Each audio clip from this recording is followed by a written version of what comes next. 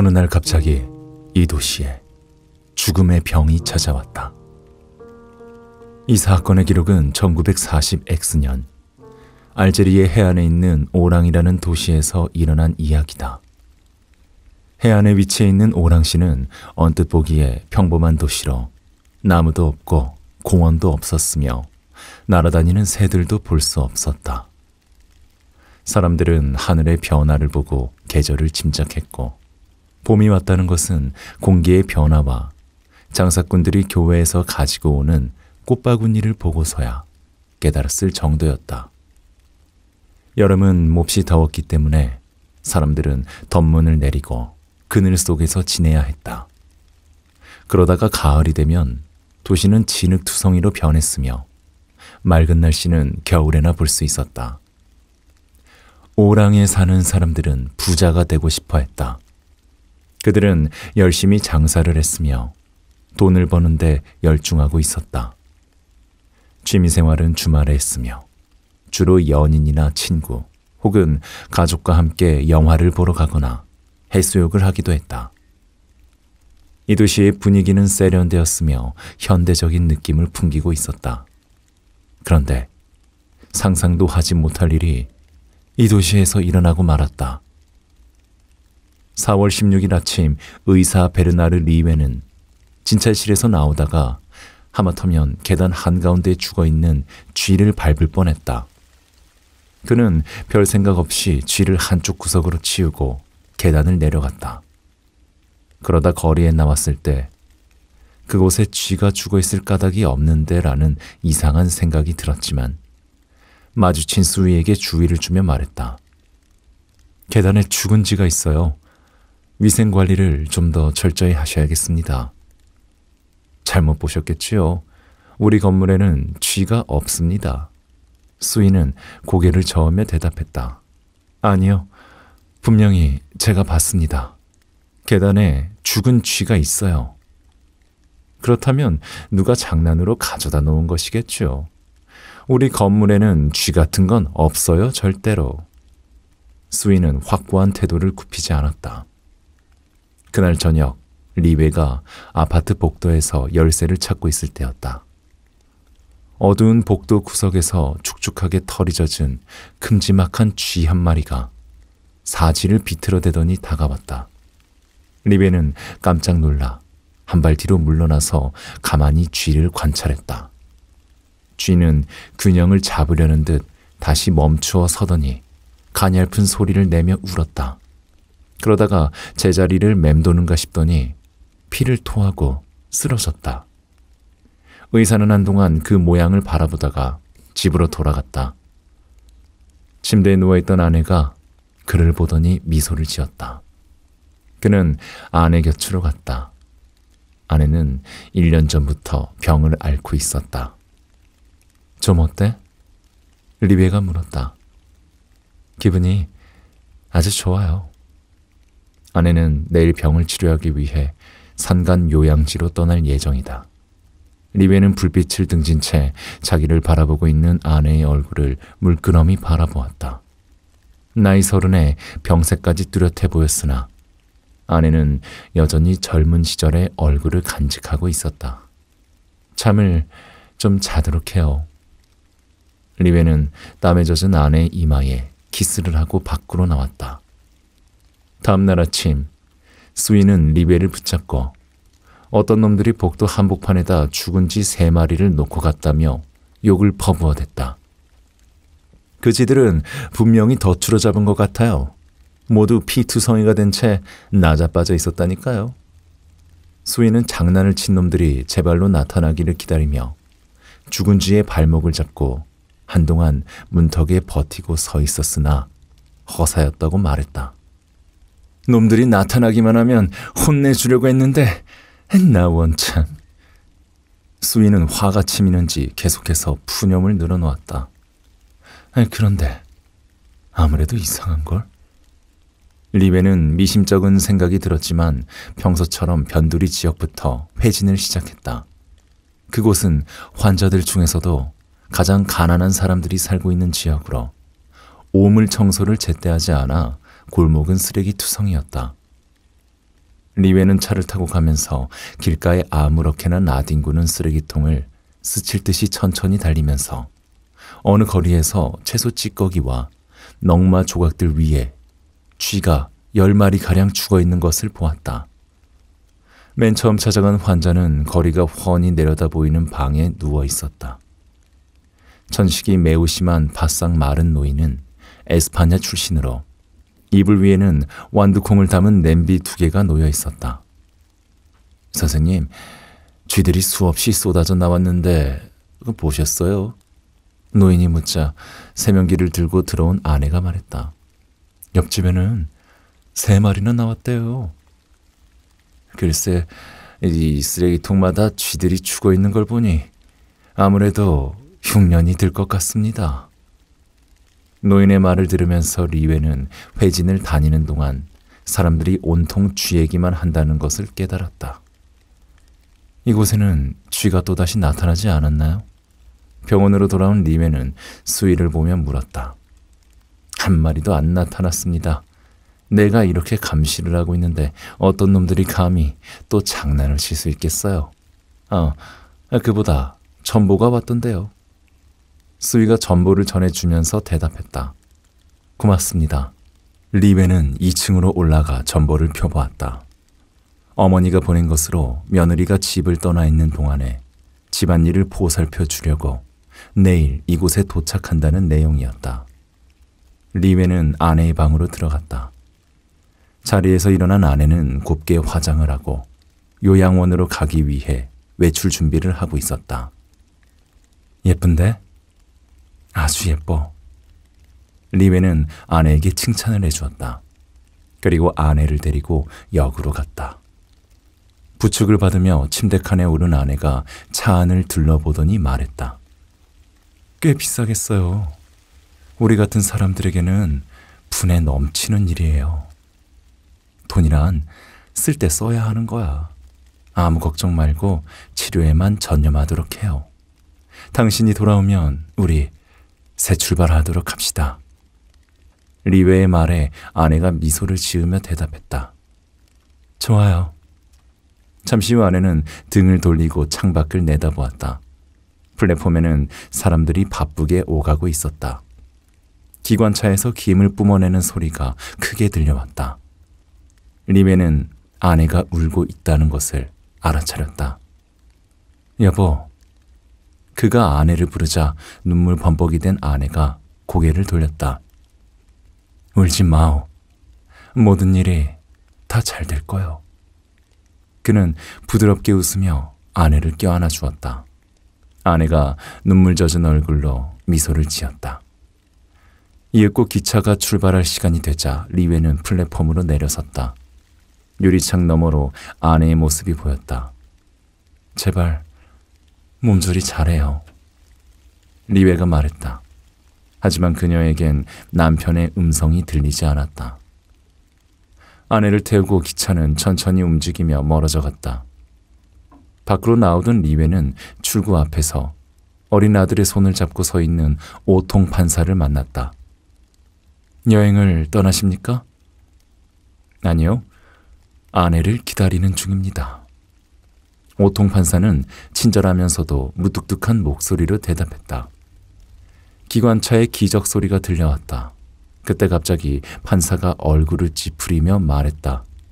쥐, 쥐가 리베가 고개를 돌려보니 죽은지를 가득 담은 괴짝을 들고 영무원이 지나가고 있었다.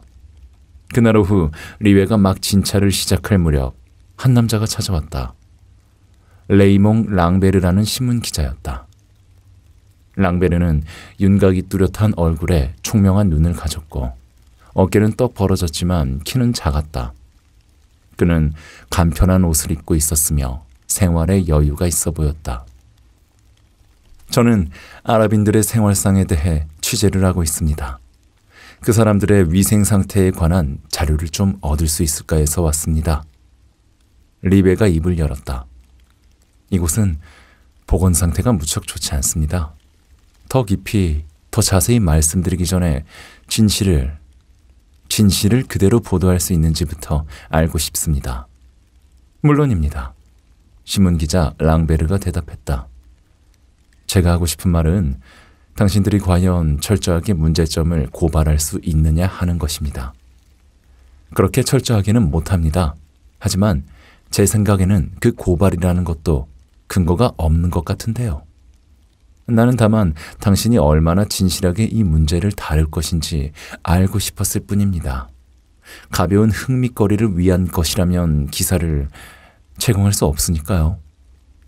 두 사람은 신문 보도에 대해 가벼운 입씨름을 했다. 무슨 말씀이신지 잘 알겠습니다. 취재를 마치고 리베는 기자를 문까지 바래다 주면서 말했다. 참, 그런 것보다는 차라리 죽은 쥐에 대한 기사를 써보시지 그러십니까? 요즘 시내 곳곳에서 죽은 쥐가 무더기로 발견되고 있는데 오히려 그런 기사가 사람들의 흥미를 더 끌지 않을까요? 아, 그래요? 아, 그거 정말 재밌겠군요. 리웨의 제안에 기자는 반기는 표정을 지었다. 오후 5시쯤 리웨는 왕진을 나가다가 계단 중간쯤에서 건장한 체구의 청년을 만났다. 청년의 이름은 장타루였다. 그는 담배를 연신 빨아대면서 자신의 발밑에서 죽어가고 있는 쥐를 내려다보고 있었다. 쥐는 사지를 비비틀며 우왕좌왕하다가 마지막 경련을 일으키더니 죽고 말았다. 타루는 거무스레한 눈을 치켜뜨고 의사를 보더니 침착한 태도로 인사를 하며 물었다. 이렇게 아픈 쥐들이 많이 나타나다니 참으로 이상하지 않습니까? 그런 것 같습니다. 저도 이런 일을 아직 한 번도 본 적이 없거든요. 그러자 타루는 머리카락을 뒤로 쓸어 넘기며 꼼짝 않고 있던 쥐를 다시 바라보더니 미소를 지으며 말했다. 이런 일이 계속되면 수이들이 아주 애를 먹겠군요. 리베는 아파트 앞을 바라보았다. 수위를 맡고 있는 미셸 노인은 항상 혈색이 좋은 얼굴로 아파트 앞에 서 있곤 했는데 오늘은 지친 기색으로 벽에 기대고 서 있었다. 리베가 밖으로 나가자 수위가 말했다. 이 망할 놈의 지가 또 나타났어요. 알고 있습니다. 이젠 두세 마리씩 마구 나온다는군요. 다른 아파트도 마찬가지랍니다.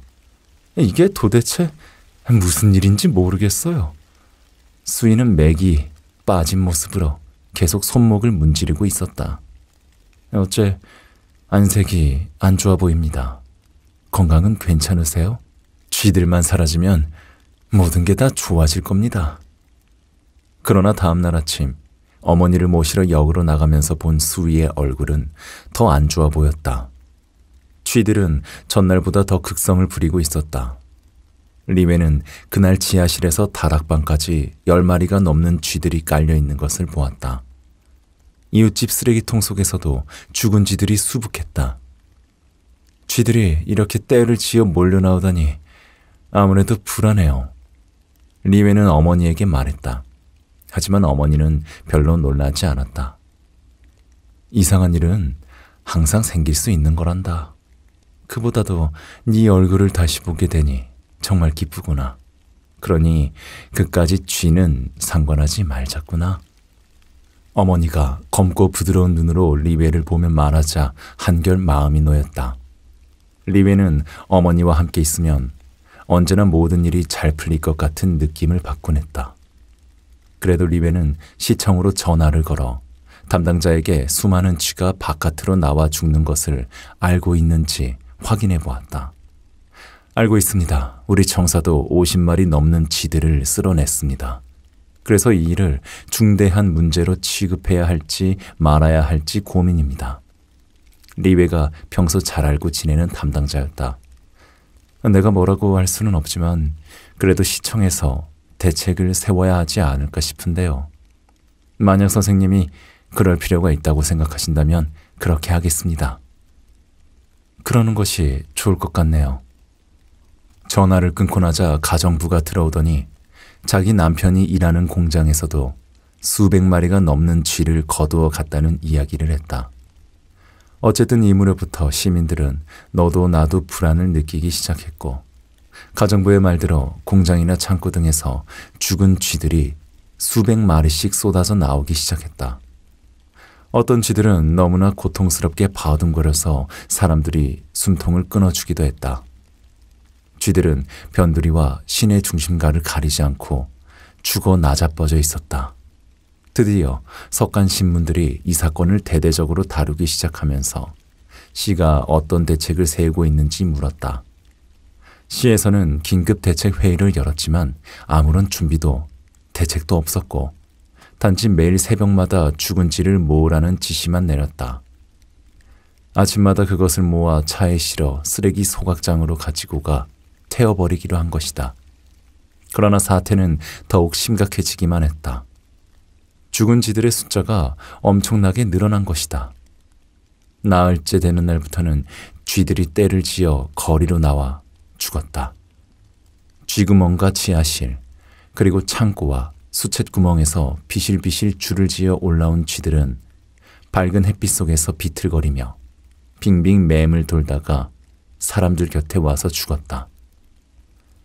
밤이 되면 복도나 골목길에서 고통을 못 이겨 질러대는 쥐들의 신음소리가 또렷하게 들려왔으며 아침마다 변두리에서는 뾰족한 콧등에 피를 덕지덕지 묻힌 채 퉁퉁 부어올라 썩어가고 있는 쥐들의 모습을 아무 데서나 볼 수 있었다. 그뿐이 아니었다. 쥐들은 위생 상태가 좋은 시내에서조차도 무더기로 발견되었다. 그들은 때와 장소를 가리지 않았다. 시청의 홀이나 학교 체육관, 카페의 테라스 같은 곳에서도 불쑥불쑥 기어 나왔다. 가장 번화한 중심가에서 쥐를 발견하고 비명을 지르는 시민들은 이곳저곳에서 볼 수 있었다. 쥐들은 광장과 과로수길, 해안 산책로 등 장소를 가리지 않고 나와 죽었다. 새벽에 죽은 쥐를 쓸어내 깨끗해진 거리는 낮 동안 다시 더럽혀졌다. 일이 이 지경이 되고 보니 저녁에 산책을 즐기던 시민들은 금방 죽어 있는 쥐를 밟는 경우도 생겼다. 오늘 하루 동안 당국에서는 무려 6,231마리의 쥐를 수거하여 소각시켰습니다. 4월 25일 라디오 방송을 통해 이런 보도가 나가자 시민들은 더욱 큰 혼란에 빠졌다. 그때까지만 해도 그들은 얼마나 많은 쥐들이 죽어가고 있는지 정확히 몰랐기 때문에 사태의 심각성을 미처 깨닫지 못하고 있었다. 그런데 4월 28일에 이르러 8천 마리의 쥐가 수거되었다고 하자 불안이 크게 다다르게 된 것이다. 대책을 세우는 거야, 마는 거야? 왜 이런 일이 일어나는지 아직까지 원인도 밝혀내지 못하고 시에서는 무엇을 하고 있는 거지? 시민들은 당국의 무능함을 비난했으며 해안의 별장을 소유하고 있는 사람들은 그쪽으로 피신을 할 움직임을 보이기도 했다. 하지만 다음날 수거한 쥐의 숫자가 줄어들었다는 방송이 나가자 시민들은 어느 정도 마음을 놓았다. 그날 오후 리웨는 수이가 고개를 푹 숙인 채 사지를 쫙 벌리고 마치 꼭두각시 같은 모습으로 어기적 어기적 걸어오는 것을 보았다. 그는 파늘루 신부의 부축을 받고 있었다. 리메는 그 신부를 알고 있었다. 예수의 소속 신부로 꽤 유식하고 적극적인 사람이었다. 그 신부는 신앙이 없는 사람들에게조차 존경을 받고 있었다. 리웨는 모퉁이에 자동차를 세우고 그들이 다가올 때까지 기다렸다. 부스럼이 나는 것 같아요. 미치겠습니다. 수이는 눈을 번뜩이며 숨을 거칠게 몰아쉬고 있었다. 그리고 목과 겨드랑이, 그리고 사타구니가 너무 아프다고 했다. 리베는 자동차 밖으로 팔을 내밀어 수이의 목을 만져보았다. 목 아랫부분에 나무처럼 단단한 멍울이 잡혔다. 오후에 들릴 테니 가서 누워 계십시오. 수이는 고개를 끄덕이며 힘들게 집 안으로 들어갔다. 이 문제에 대해서 어떻게 생각하십니까? 리베가 파늘루 신부에게 물었다. 글쎄요. 단순한 유행병이 아닐까요? 신부가 그렇게 말하며 눈웃음을 지었다. 진료실에 돌아온 리웨는 아내가 무사히 요양원에 도착했다는 전보를 받았다. 그때 시청에 근무하고 있는 그랑이 이웃집에 급한 일이 생겼다며 전화를 걸어왔다. 그랑을 치료해 준 적이 있는 리웨는 수위가 마음에 걸렸지만 일단 거기부터 가보기로 했다. 그랑은 변두리에 있는 페데르브가의 초라한 건물에 살고 있었다. 리웨는 퀴퀴한 냄새가 코를 찌르는 계단을 올라갔다. 중간쯤 올라갔을 때 그랑이 마중을 나왔다. 그는 쉰살 가량 된 중늙은이로 노란 턱수염을 기르고 있었으며 어깨가 좁고 팔다리가 야윈 사람이었다. 환자는 어디에 있나요? 3층에 있습니다. 리웨가 그런과 함께 3층으로 올라가자 왼쪽의 문짝에 붉은 분필로 이렇게 쓰여 있었다. 들어오시오. 나는 목을 매달았어. 안으로 들어가 보니 탁자가 한쪽으로 처박혀 있고 뒤집힌 의자 위에는 밧줄이 걸려 있었다. 그러나 죽은 사람은 보이지 않았다. 내가 아슬아슬하게 끌어내렸습니다. 근황이 말했다. 두 사람은 안쪽에 있는 방으로 들어갔다. 가구라고는 별로 없는 초라한 방에 몸집이 작은 남자가 누워 있었다. 리메는 침대 곁으로 다가갔다. 남자는 거칠게 숨을 내쉬고 있었는데 그 소리가 꼭 쥐의 울음소리 같았다. 리웨는 얼른 주위를 둘러보았지만 쥐는 보이지 않았다. 리웨는 남자를 진찰한 다음 강심제 주사를 놓아주었다. 고맙습니다, 선생님. 남자가 짓눌린 목소리로 말했다. 경찰서에 알렸습니까? 리웨가 그랑에게 물었다. 그러자 그랑은 당황해했다. 아니요, 아직 미쳐. 그러자 환자가 침대에서 일어나더니 이젠 괜찮으니 그럴 필요가 없다고 말했다. 하지만 이건 제가 신고해야 할 의무가 있습니다. 이를테면 당신이 또 그런 짓을 하는 경우에는 리웨의 말에 코타르는 울며 불며 신고하지 말아달라고 사정하면서 다시는 그런 마음을 먹지 않겠다고 했다. 환자가 너무 신경이 곤두서 있어서 리웨는 알겠노라고 대답하고 방에서 나오며 그랑에게 말했다. 제 의문이 신고를 하겠습니다. 하지만 경찰서장에게 그에 대한 조사는 이틀 후에나 해달라고 부탁하겠습니다. 그 말에 그랑이 고개를 끄덕였다. 오늘 밤에 누군가 환자를 돌봐주어야 할 텐데 저분은 가족이 있나요? 글쎄요. 잘 모르겠군요. 제가 돌봐주겠습니다. 리베는 걸어가면서 그랑에게 이 지역에서는 쥐가 완전히 사라졌느냐고 물었다. 글쎄요. 잘 모르겠는데요. 그랑은 원래 동네 소문에는 무심한 편이었다. 리베는 다른 약속이 있다고 말하고 그 동네를 떠났다. 수인은 침대 밖으로 상반신을 내밀고 한 손을 배에 대고 또 한 손은 목에 든 채 피를 토하고 있었다. 리메는 구토를 하고 있는 수위를 지켜보았다. 한참 후에 수위는 숨을 헐떡거리며 자리에 누웠다. 수위의 증세는 심각했다. 열이 39.5도나 되었고 목 부분의 임파선과 팔다리가 부어오른 상태였으며 허리에는 검은 반점 두 개가 퍼져 있었다. 속이 타는 것 같아. 아, 너무 고통스러워. 수인은 아픔 때문에 눈물을 글썽거리며 의사를 바라보았다. 검게 탄 입속에서 단내가 나고 있었다. 선생님, 대관절, 이게 무슨 병입니까? 수의 아내가 걱정스러운 얼굴로 리베를 보며 물었다. 글쎄요, 여러 가지 증세가 있지만 아직 정확한 병명은 알 수 없습니다. 저녁까지 금식을 하시고 될 수 있는 대로 물을 많이 마시게 하세요. 처방을 하고 난 리웨는 집으로 돌아와 동료 의사인 리샤르에게 전화를 걸었다. 몹시 열이 나고 사타구니와 목 등에 염증이 있는 환자를 못 보셨습니까? 그러고 보니 그런 환자가 두어 명 있었던 것 같군요. 임파선에 심한 염증이 있었습니다. 리샤르가 그렇게 대답하면서도 특별한 처방은 없었다. 그날 밤 수인은 헛소리를 하기 시작했다. 열이 40도나 오른 그는 숨을 헐떡거리며 쥐에 대한 원망을 퍼부어댔다. 리웨는 테레빈 주사를 놓았다. 이런 제기를 수인은 고통을 참지 못하고 비명을 질러댔다. 더욱 커진 임파선은 나무처럼 단단하게 변해버렸다. 하지만 다음날 아침이 되자 열이 떨어졌다. 하루 사이에 눈에 띄게 수척해진 수인은 침대에 누운 채 빙긋 미소를 지었다. 많이 좋아진 것 같은데 앞으로 어떻겠어요?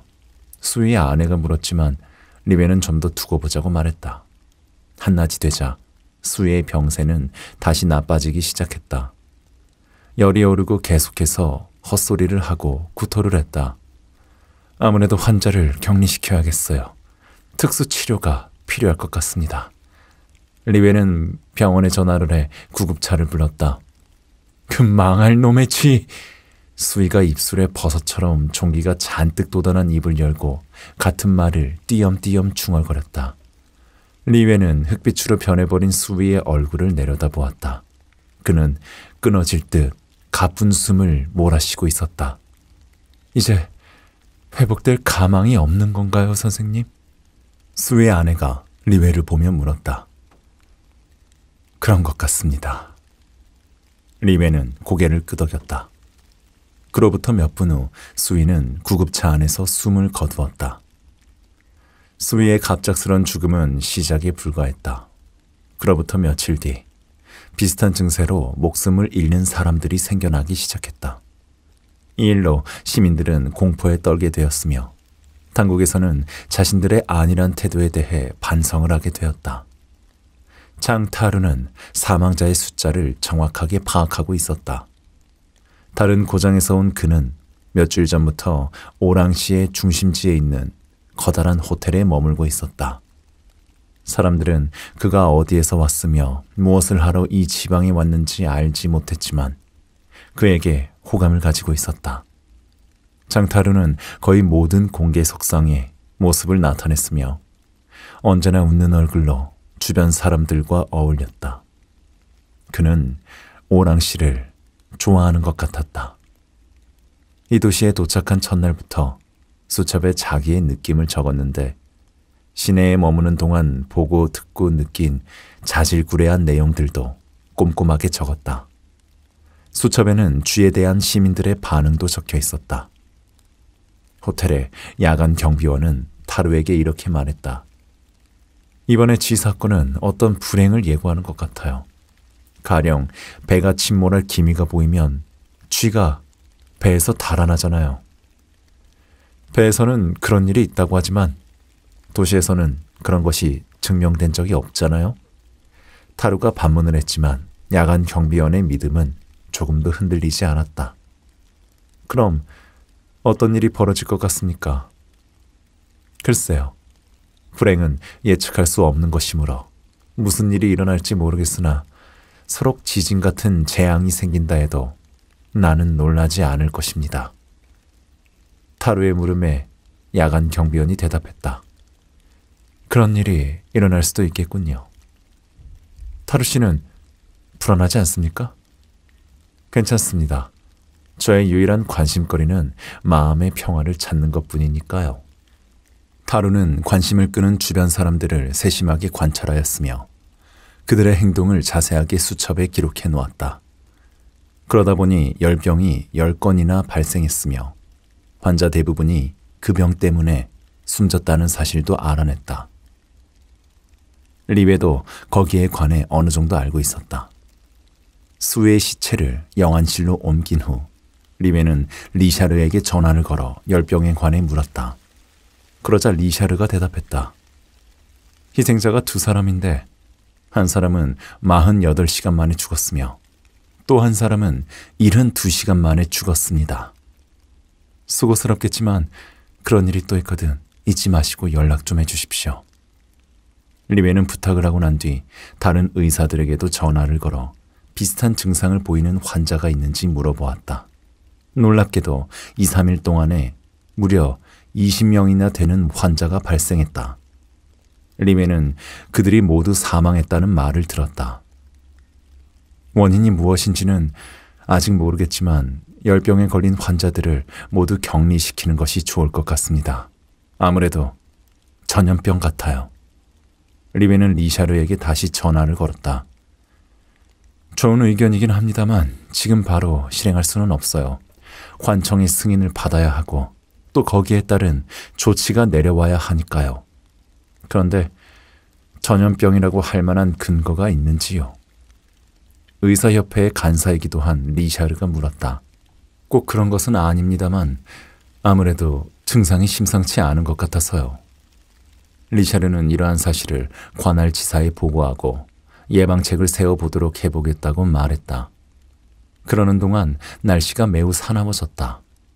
수이가 죽은 다음 날부터 짙은 안개가 끼기 시작하더니 간간히 소나기가 쏟아졌다.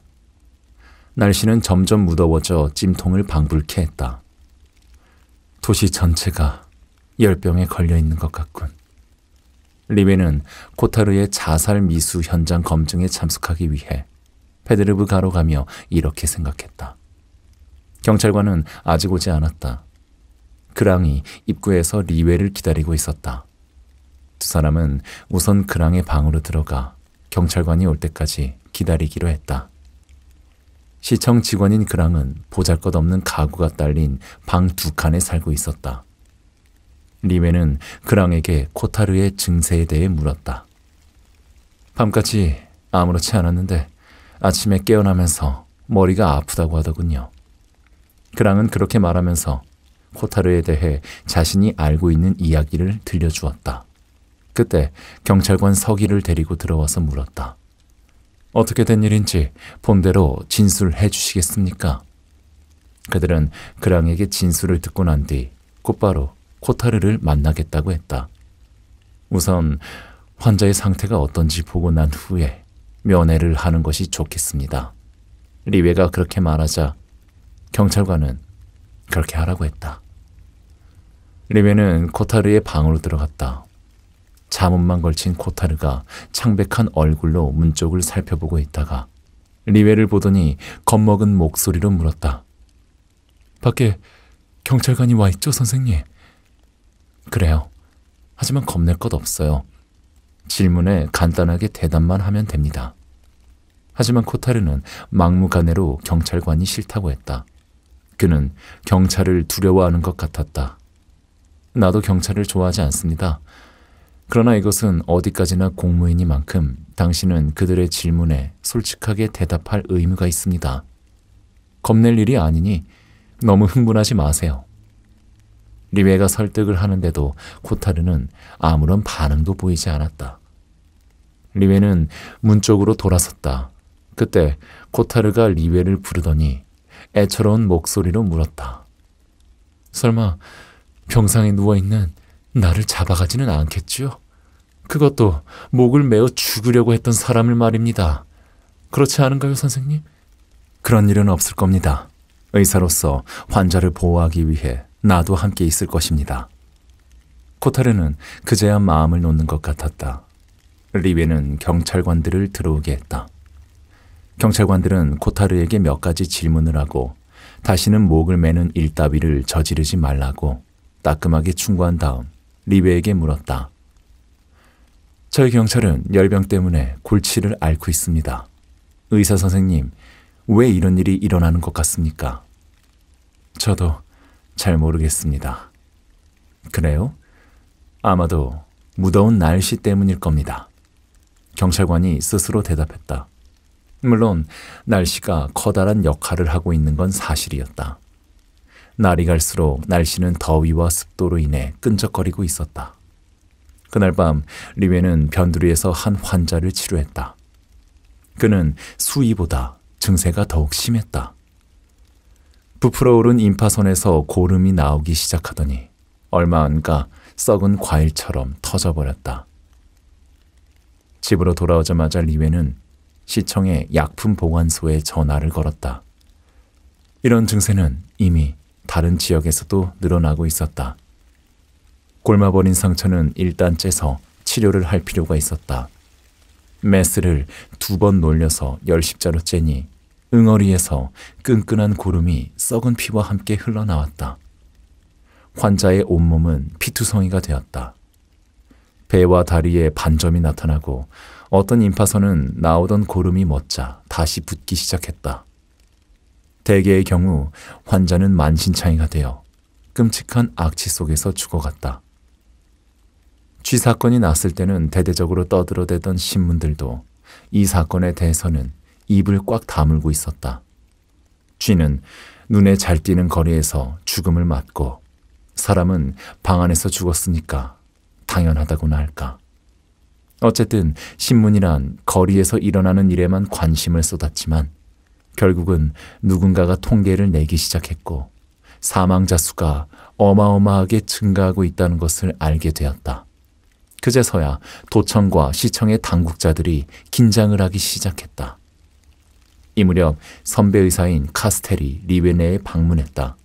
자네는 이 병이 무엇인지 알고 있지. 확실히 몰라서 분석 결과를 기다리고 있는 중입니다. 나는 결론을 내렸다네. 평생 의사 일을 해오는 동안 이와 비슷한 일을 20년 전에 겪었네. 내가 이 말을 동료 의사에게 했더니 말도 안 되는 소리라고 하더군.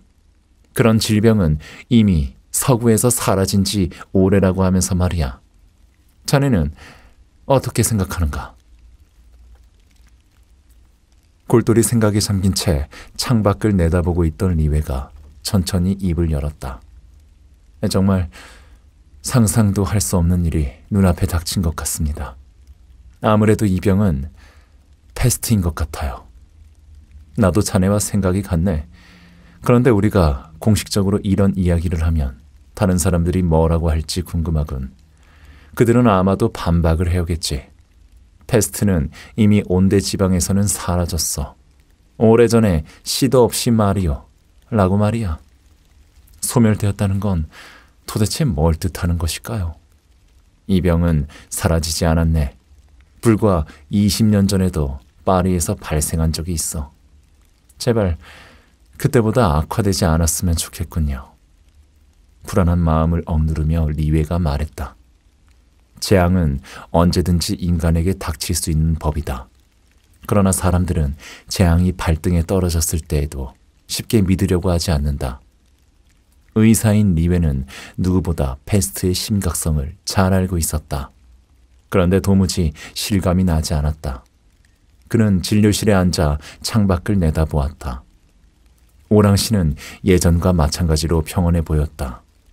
사람들은 전과 다름없이 사업을 계속하고 여행 계획을 세웠으며 카페에 앉아 차를 마시면서 이야기를 나누었다.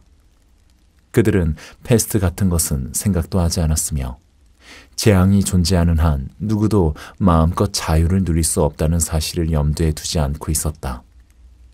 리외는 페스트에 대해 아는 사실들을 머릿속에서 정리해 보았다.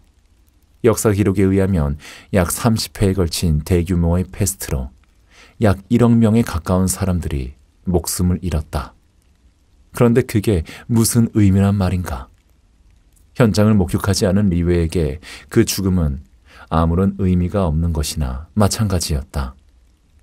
기나긴 역사 속에서 사라져간 1억 명의 사망자는 상상 속에서 사라져버린 연기처럼 현실감이 없었다.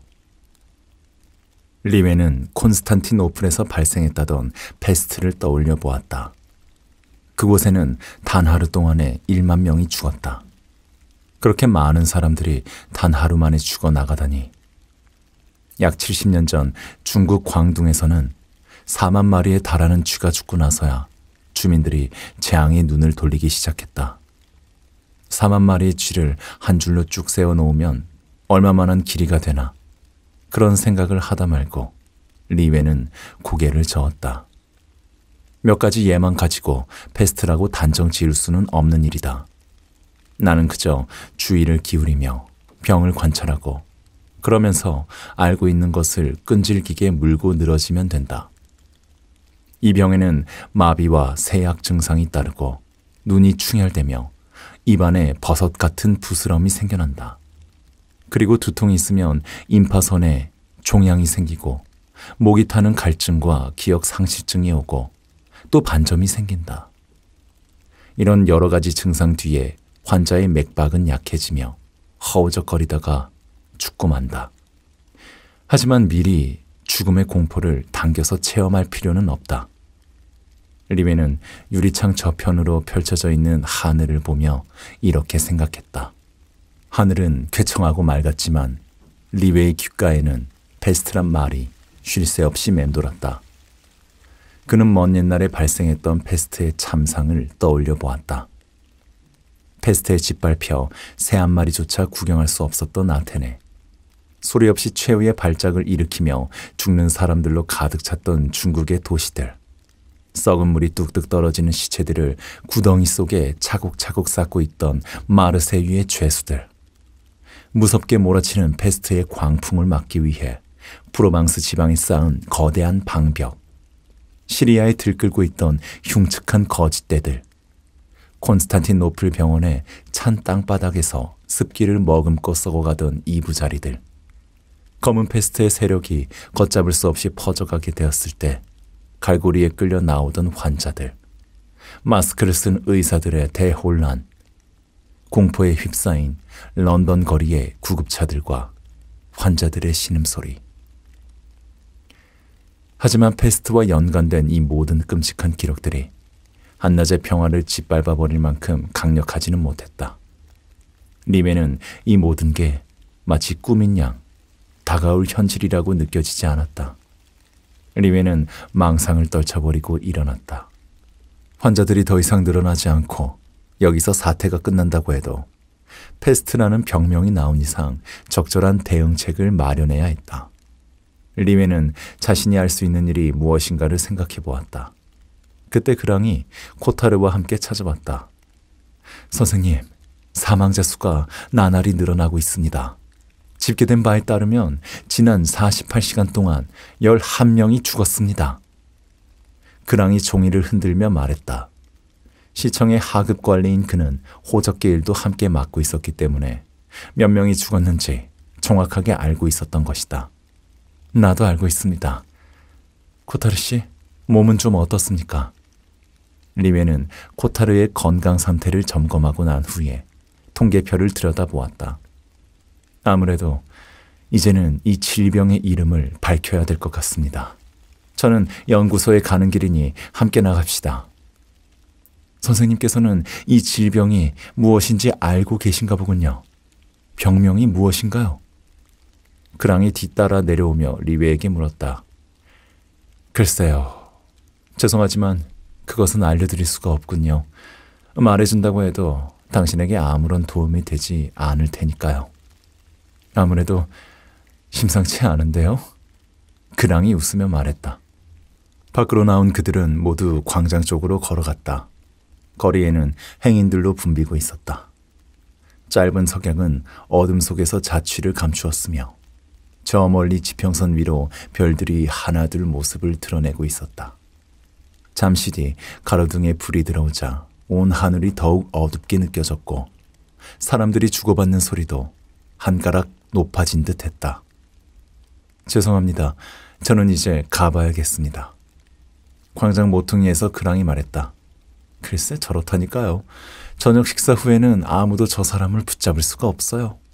코타르가 말했다. 아직 업무가 끝나지 않았습니까? 리베가 물었다. 아니요. 그냥 저 혼자 좀 해야 할 일이 있어서 그렇습니다. 그랑은 그렇게 말하며 젠 걸음으로 사라져 버렸다. 연구소 가까이 이르자 코타르가 말했다. 선생님, 언제 한번 만나서 얘기를 나누었으면 합니다. 그럼 내일 오후 늦게 왕진을 갈 때 들러보겠습니다. 잘 가세요. 리메는 코타르와 헤어졌다. 그런데 어찌된 일인지 그랑의 초라한 모습이 머릿속을 떠나지 않았다. 페스트는 오히려 약한 사람들보다 건강한 사람들을 정복한다. 리메는 언젠가 읽었던 글귀를 떠올리며 그랑 같은 사람은 최악의 경우에도 견뎌낼 것 같다는 생각이 들었다. 시청의 하급 관리인 그랑은 가난하지만 정직하고 모범적인 생활을 해나가고 있었다. 그처럼 성실한 공무원이 근무를 하는 도시에 느닷없이 패스트가 침패해 오는 일은 없을 것 같았다. 연구소에서 그랑이 가져다 준 서류를 분석한 리웨는 다음날 리샤르에게 전화를 걸어 긴급 보건위원회 소집을 요구했다. 시민들이 불안해하는 것은 사실이에요. 시장이 나더러 이 일을 빨리 끝내되 말이 새어 나가지 않도록 조용히 해달라고 하더군요. 리샤르가 말했다. 그 다음날 시청으로 가는 길에 리웨는 선배 의사 카스텔을 차에 태웠다. 형편이 어떤지는 잘 알고 있겠지? 시청에는 백신이 하나도 남아있지 않다네. 카스텔이 말했다. 이미 동이 났다는 소리는 들었습니다. 아무래도 파리에서 들여와야 할 것 같습니다. 늦지 않도록 해야 될 텐데. 두 사람은 회의장 안으로 들어갔다. 시장은 리웨가 긴급 보건위원회를 소집한 데 대해 신경질이 많이 나 있는 것 같았다. 리웨는 모인 사람들에게 현재 사태에 대해 간단하게 설명을 하겠다고 말했다. 하지만 이미 현황을 파악하고 있는 의사들은 그런 설명을 듣고 싶어 하지 않았다. 시급한 문제는 그것이 패스트냐 아니냐 정확히 판단하는 일입니다. 카스텔이 말했다. 무슨 소리를 하시는 겁니까? 그 병은 이미 오래전에 사라졌잖아요. 의사 두 명이 소리를 질렀다. 그러나 대다수의 의사들은 입을 꽉 다물고 있었다. 자리에서 벌떡 일어난 시장은 혹시라도 그 말이 밖으로 새어 나갔을까봐 걱정하는 눈치였다. 자, 자, 이럴 때일수록 우리가 침착해야 합니다. 현재까지 확실하게 밝혀진 것은 사타구니의 염증을 수반하는 열병이라는 것 뿐입니다. 이런 증상을 가지고 패스트라고 단정 짓는 것은 위험한 일입니다. 그러자 리샤르가 말했다. 내 생각은 다릅니다. 나는 이 병을 패스트라고 봅니다. 물론 공식적으로 인정을 받아야 하겠지만 한시라도 빨리 우리가 여기에 대비할 조치를 취해야 합니다. 그러지 않으면 점점 더 희생자가 늘어날 것입니다. 카스텔의 위험 있는 눈빛으로 참석자들을 쳐다보았다.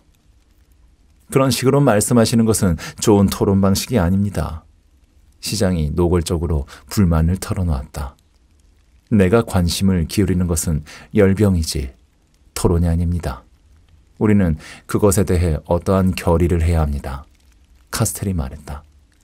선생께서는 어떻게 생각하십니까? 동료 의사들이 리웨의 의견을 물었다. 이것은 장티푸스와 비슷해 보이지만 임파선 종양과 구토를 동반하고 있습니다. 임파선 종양을 수술하면서 이상한 점이 있어 병리 검사를 의뢰했는데 굉장히 강한 패스트균이 검출되었습니다. 그의 말에 몇몇 의사들이 놀란 듯 소리를 질렀다. 그러자 리웨는 사람들을 둘러보며 한마디 덧붙였다. 그런데 한 가지 분명한 점은 이 균이 이전에 발견된 균들과는 다르다는 것입니다. 그러니까 좀 더 시간을 두고 여러 가지 검사를 해봐야 하겠군요. 리샤르가 말했다. 하지만 병의 진행 속도가 너무나 빠릅니다. 그러는 사이에 시민의 절반이 사망할지도 모릅니다. 중요한 것은 이것을 패스트라고 부르느냐, 전염성 열병이라고 부르느냐 하는 것이 아니라 이 병으로부터 시민들을 지키는 일입니다. 그렇게 비관적으로 생각할 일이 아닙니다. 무엇보다도 환자의 가족들이 무사한 것을 보면 전염병이 아닐지도 모릅니다. 하지만 가족이 아닌 다른 사람들에게서 이미 그 증세가 나타나고 있으니 예방 조치를 취해야 합니다. 그러려면 페스트가 발생했다는 사실을 공식적으로 인정해야 하는데 그것을 뒷받침할 만한 자료가 없으니 좀 더 신중하게 생각해 보는 것이 좋겠습니다. 그러는 사이에 희생은 점점 늘어날 것입니다. 좀 더 솔직하게 말씀을 해 주시지요. 리외 선생께서는 이것을 페스트라고 확신하십니까? 리외의 대답에 리샤르가 신경질적인 태도로 물었다. 중요한 것은 병명이 아니라 시간입니다. 그러니까 당신은 문제의 열병이 페스트가 아니라고 할지라도 그와 비슷한 조치를 취해야 한다는 것이지요? 시장이 물었다. 그렇습니다. 단호한 태도로 대답을 하고 난 뒤 리외는 회의장을 빠져나왔다. 그리고 평소와 다름없이 환자를 치료하러 갔다. 며칠 후 시청에서는 벽보를 붙였다. 이름이 밝혀지지 않은 열병이 몇 건 발생했으니 시민들께서는 불안해하지 말고 시에서 정한 예방 조치를 잘 따라달라는 내용이었다. 그 벽보는 당국이 사태를 올바로 보고 있다는 증거로 보기는 어려웠다. 벽보에는 하수구에 독가스를 넣어 쥐를 잡는 방법과 마실 물에 대한 엄격한 관리 조항 등이 적혀 있었다. 시민들은 몸을 청결하게 하고 벼룩이 있는 사람은 무료 진료소에 나오라고 했다. 또한 열병이라는 의사의 진단을 받은 가족들은 의무적으로 신고를 해야 하며 환자를 특별 병실에 격리 입원시켜야 한다고 되어 있었다. 그리고 환자의 병실과 환자 운반용 차량은 반드시 소독해야 한다고 적혀 있었다. 리웨는 못마땅한 얼굴로 벽보를 쳐다보다가 진료실로 향했다. 그랑이 찾아와 기다리고 있었다.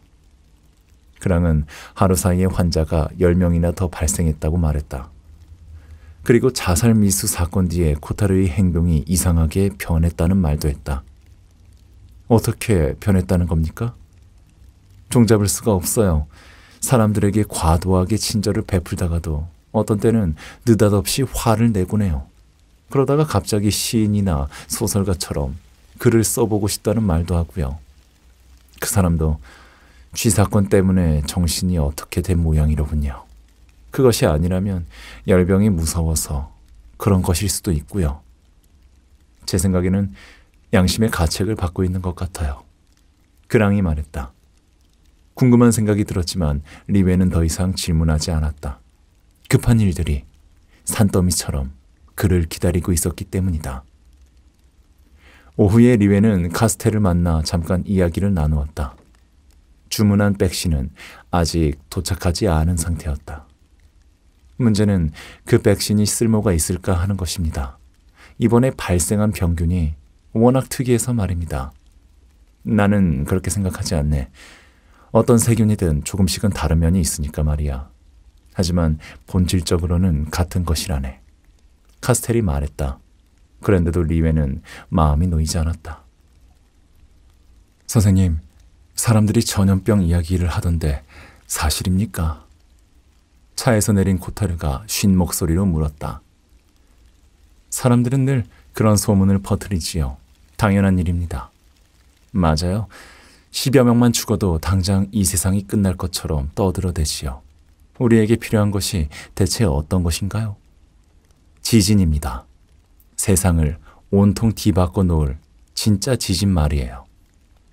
그는 슬픔과 분노에 가득 찬 목소리로 외치고 달아났다. 환자들은 나날이 늘어갔다. 그런데도 당국에서는 충분한 대책을 세우지 않고 있었다. 그들이 하는 일이라곤 환자들을 다른 곳으로 옮긴 후 그곳을 밀폐하고 접근을 금한다는 빨간 표지에 경고문을 붙이는 게 전부였다. 그런 정도로는 전염병을 물리칠 수 없었다. 그런데 당국에서는 낙관적인 말만 늘어놓고 있었으며 신문사와 방송국들도 비슷한 태도를 취하고 있었다. 특별병동에는 몇 명의 환자를 수용할 수 있나? 카스텔이 전화를 걸어와 물었다. 80명 정도밖에 안 됩니다. 당국에서는 발생한 환자가 30명 정도밖에 안 된다고 하던데 사실인가? 그보다 훨씬 많을 겁니다. 겁을 먹고 신고하지 않은 사람들도 많이 있을 것이고 아직 입원 수속을 밟지 않은 사람들도 여러 명 있을 겁니다. 신고 없이 그냥 매장하는 사람들도 많이 있겠지. 물론입니다. 그런데도 당국에서는 안내장을 붙이는 것 외에는 별다른 조치를 취하지 않고 있습니다. 이러다가 사태가 점점 심각해질 것 같습니다. 리샤르에게는 건의를 해봤나? 예. 물 셀 틈 없이 완전한 방벽을 구축해야 한다고 하는데도 권한이 없다고 하더군요. 그들이 걱정을 하고 있는 동안에도 환자들은 계속 늘어나 불과 사흘 만에 두 개의 병동을 가득 채우고 말았다.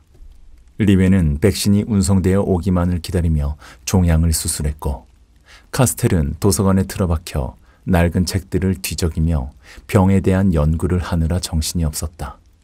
며칠 뒤 카스텔이 말했다. 쥐들은 패스트균 또는 그것과 매우 비슷한 병균 때문에 죽었어.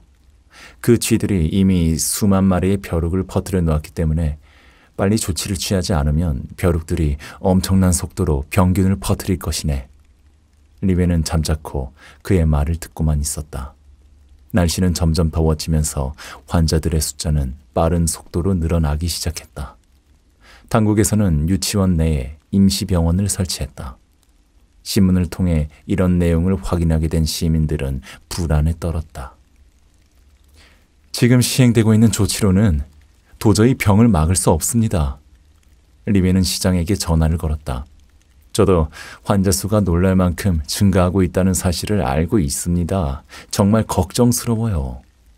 좀 더 강경한 대책을 세워야 하지 않겠습니까? 상급기관에 보고하고 해결책을 요청해 보도록 하겠습니다. 시장이 불죽은 목소리로 말했다. 그러는 사이 10명이던 사망자가 갑자기 30명으로 증가하자 당국이 공문을 보냈다. 시장이 저들이 겁을 먹었소라며 내미는 전문에는 패스트 사태를 선언하고 도시를 폐쇄하라라고 적혀 있었다.